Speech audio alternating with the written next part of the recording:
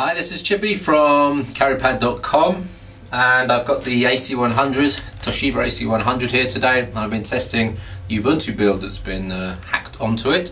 Some guys in the community have managed to build a new bootloader and uh, Ubuntu OS for this 10.10 which is quite interesting. So in this video I just want to show you um, boot up, show you around some of the applications and talk about what's working and what's not working.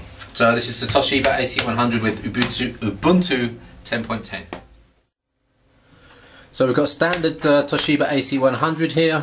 Uh, for those of you haven't seen it, it's an Tegra 2, um, well ARM Tegra 2 based device. Sorry, NVIDIA Tegra 2. That's based uh, on an ARM core, dual core, 1 gigahertz uh, CPU. It's an Android device, very thin and light, 800 grams, 299 euros. Nice keyboard, nice screen. Um, but Android 2.1 is not the best on it. So what's happened here is that someone has created a new bootloader and a mechanism to flash the bootloader on this, which now gives you the option to boot from an external SD or USB um, drive. Now I've got the a Ubuntu build on here. It's Ubuntu 10.10 release candidate uh, netbook build for ARM v7. So that's on here, and what we're going to do is we're going to boot from that. And you do that by going into the uh, recovery mode on the device.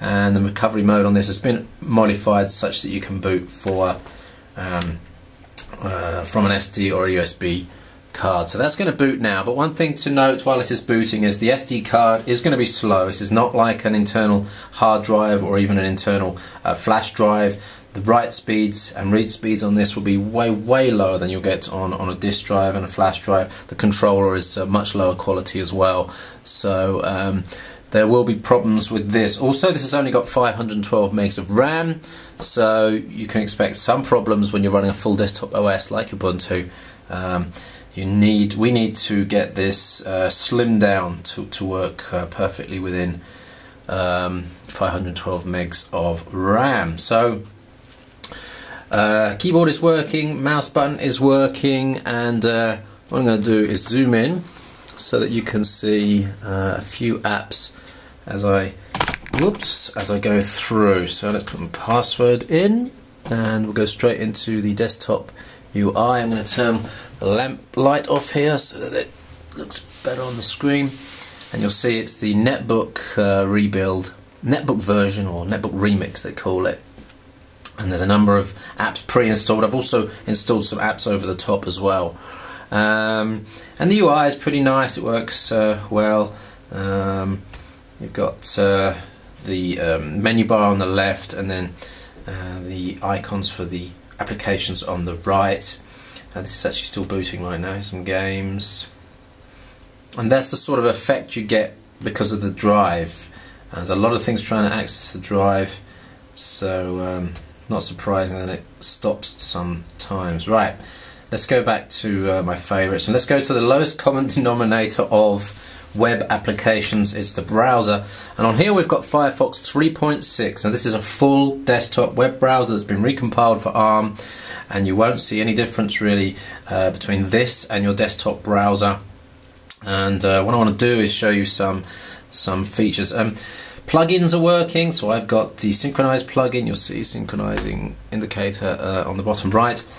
Um, so it's actually synchronized all my uh, bookmarks, all my settings, all my cookies, all my passwords, and some favorites as well. Um, but let's just go to uh, engadget.com just to give you a feel for um, how quickly this is. We're going over Wi-Fi here. It's a local Wi-Fi uh, hotspot I've got down here so reception is good and um, speed is good.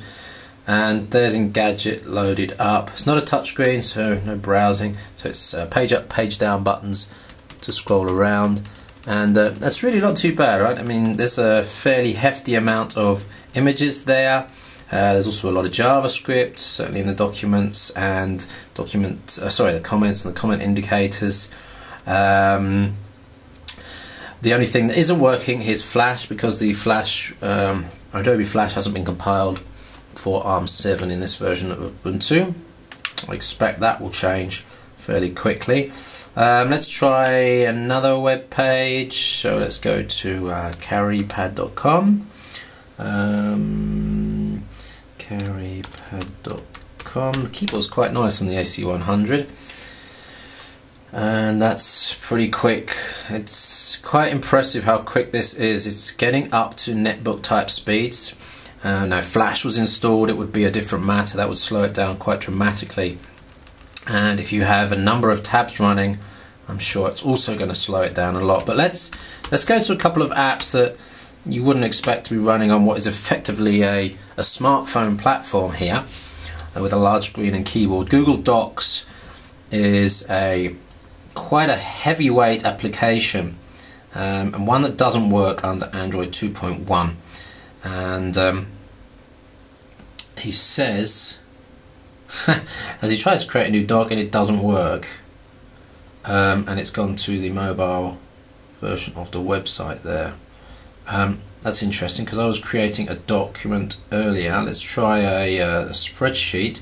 Maybe it's just a problem with the um, docs there Okay, the spreadsheet, and that was the spreadsheet that I was using earlier and it was working.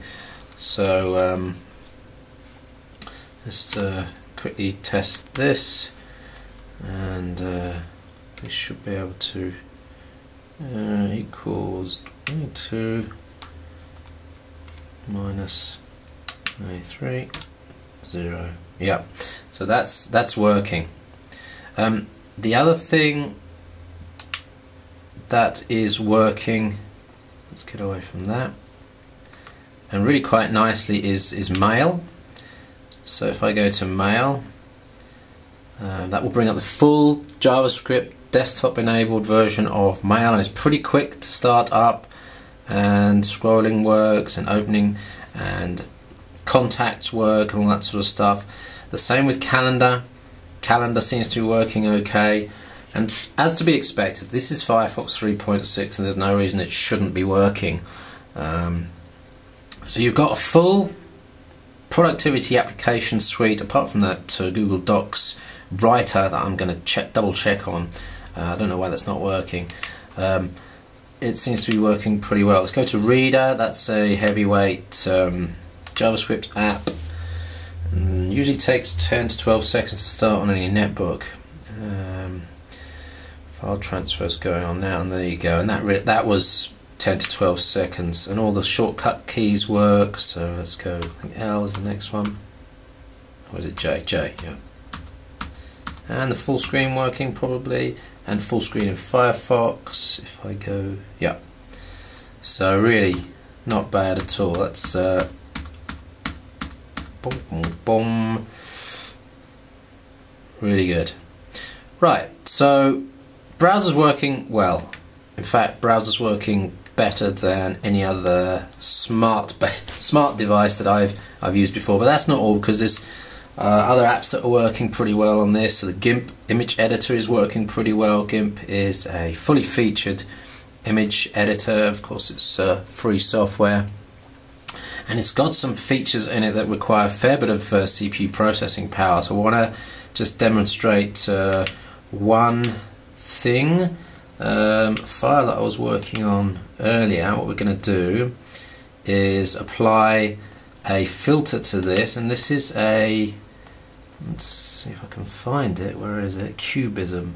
That's a fairly CPU intensive um, process and see how fast it goes through that. Now that's not as fast as a netbook, but it's really not that slow. You're not going to worry about hanging around uh, too long for that. And there you go. That's that's that done and uh, control Z to get out of that. So actually quite a usable uh, GIMP.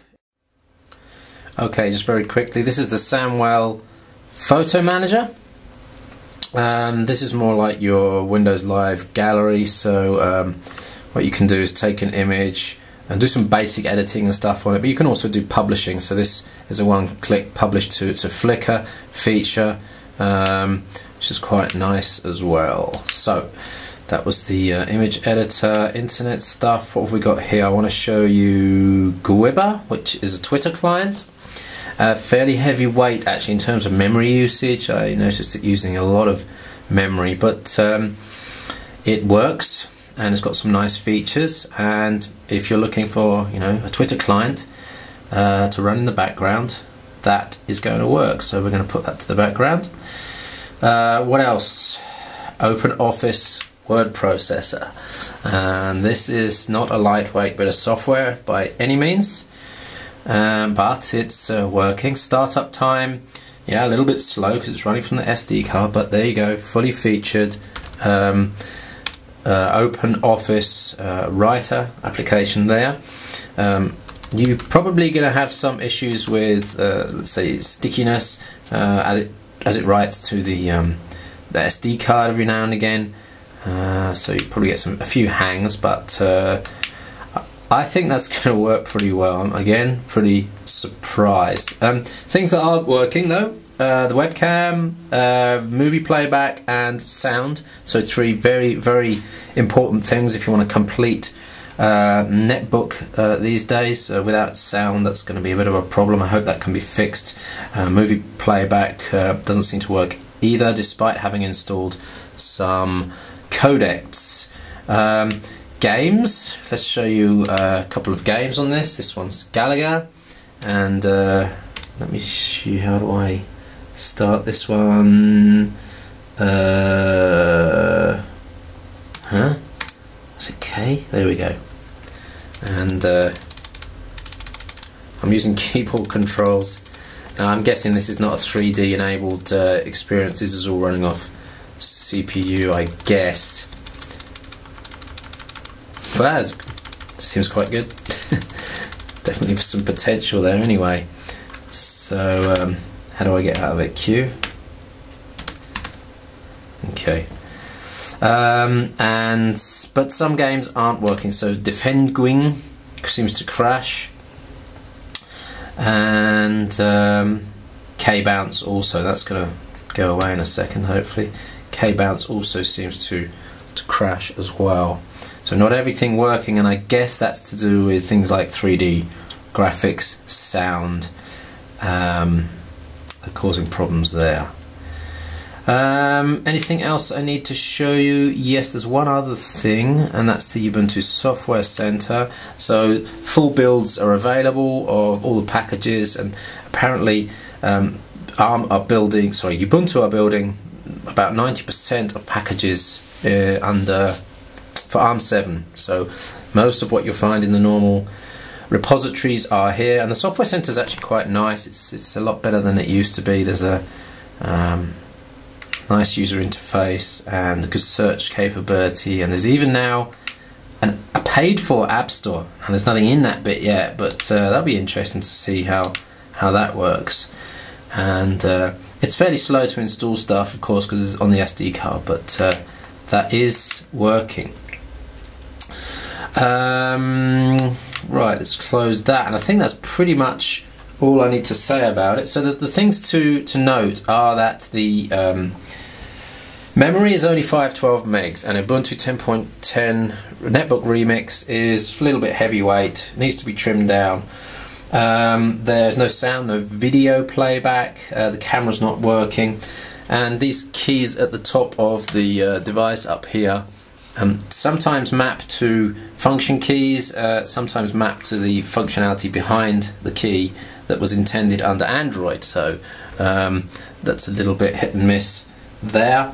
Um, backlight adjustment on the screen is not working, um, and looks like battery drain is pretty uh, significant.